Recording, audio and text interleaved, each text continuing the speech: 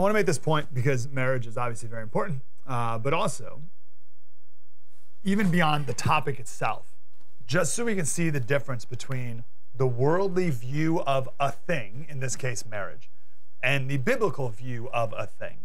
Again, marriage in this case. But even if you're a Christian or not married or whatever, just to be able to look at the, the stark differences between the biblical truth and the worldly message and how they're just completely night and day. Now, I want to present the biblical view. Do whatever you want. I'm not, as, as per our last segment, I'm not forcing you to do anything. I'm not Fauci over here. I'm just going to lay out the differences, and you decide what's better for you, your wife, your kids, and our society at large. We're going to go through these pretty quick. um, this is a chart from Rick Thomas with, I think, maybe 20 differences. We'll jump around here a little bit if it's hard for you to see. All right. So, uh, the worldly view on marriage is that it will solve your problems. The biblical view is that it will reveal your problems. The worldly view says marriage will bring happiness. The biblical view is that marriage leads to holiness. The worldly view says that marriage is uh, a marriage is good if you don't argue. That's the sign of a good marriage if you don't argue. And the, the biblical view says that you get maturity through argument. The worldly view says a marriage should not be difficult. And the biblical view says, oh no, there definitely will be difficulty. Let's just stop right. Do you see the do you see already the, the selfishness, the selfish perspective on the worldly view of marriage? Right? It should solve my problems, make me happy, not be difficult. We should never argue. Everything's going to be easy all the time. That's the worldly view. The worldly view says marriage is about feelings. The Bible says it's about commitment. The world says a marriage should be 50 50. The Bible says love doesn't keep score. The world says it's a contract that can be broken. And is there any wonder why people break them so frequently? Because they think that it should make them happy and solve all their problems and be about me and it's about feelings. And if I don't feel good, then I'm going to break the contract. But the Bible says it's a covenant that can't be broken. The world says love until it hurts. The Bible says love until you die. The world says it's about assigning blame. The Bible says it's about accepting responsibility. The world says either your, your spouse or you are your Savior. And the Bible said Jesus is. And the world says all joy, goodness, and satisfaction should come from your spouse. And the Bible says it should all come from God. So, again, do whichever you want, but let's just admit how different they are. Right? Now, let's go over what the world's view is in action. This is a New York Times opinion piece. It was published just, I think it was last Friday. And the headline was Divorce can be an act of radical self love. Weird. So, this, this woman's argument is that her divorce, here's what she said freed me from a relationship that was crushing my spirit.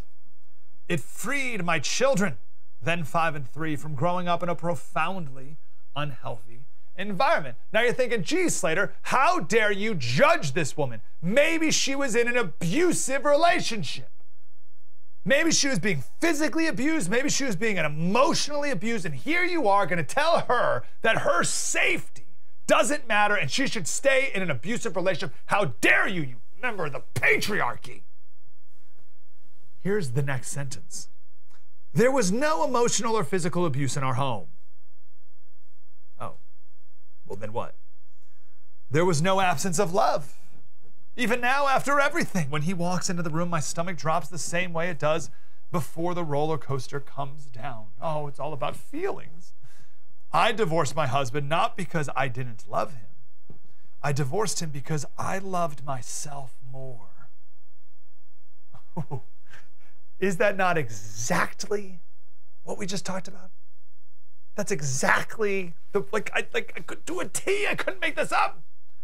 The world's view on marriage is selfish. That it should bring happiness and solve all my problems, and it's about feelings and should never be difficult. And this woman lived that out to a T. She broke off her marriage, which is merely a contract. She broke it off because she loved herself so much. That, therefore, is not a covenant of service, which is the biblical view of marriage, is that it is a covenant of service. That is instead a contract of narcissism. Dear friend of mine was in the ICU for a week. All last week, he was in the ICU. Couldn't do anything for himself. Couldn't do anything. Like bedpan, wife wiping his bottom. Couldn't do anything. And he called me just Saturday, he called me. First time out of the ICU, he called me. And he said, Slater, I want to tell you a little something about marriage. He said, My love for my wife has never been deeper because she did literally everything. And he explained all the things that she did for him, not pretty things. He said, Slater, these were not happy times. These were not happy times. But their love has never been deeper. His love for her, her love for him, and their love for God and their dependence on God. It's never been deeper. That's the point. That's what marriage is. So, what was this woman's problem then? Here's what she said After I became a mother, I was still the same striving, work obsessed, domestically challenged person I'd always been. So, ambition. I made choice after choice to prioritize my career. It gave me an identity, a purpose, and the comfort of knowing I could support myself. She says her husband would often say that you're not present. Um, sometimes physically, or like literally, she wasn't present when she was traveling for work, and also even when she was there, she wasn't really there. She was on her phone or thinking about other things all the time. So instead of solving that, right, instead of admitting that was a problem, changing her ways and solving that problem, which I had to do myself, as I am also work obsessed and all the rest. I had to focus on being present in the moment. So I had to admit it was a problem, admit it was hurting my family, change my ways, and solve it. Instead of her doing that, she went all in on herself, and now she's liberated. See how liberated she feels if she ever goes to the ICU. So amazing that that's viewed as liberated, right? Ugh. Oh, to be unconditionally loved by my husband and to raise our children together. Yuck! What slavery? What, what oppression? She said she knows of one 38 year old uh, newly single mother who works full time and goes to graduate school at night. And, and she said with pride that she's now living in an apartment that she picked out and decorated and paid for all on her own. You go, girl! Good for you! She says everything is my choice and I'm in charge. Super! the last line of the uh, of this article from this woman says, "My divorce let me live the life I was meant to, and I view that as an accomplishment." I bet you. Wow, that was deep and insightful. I want more of that. Like, subscribe, get more.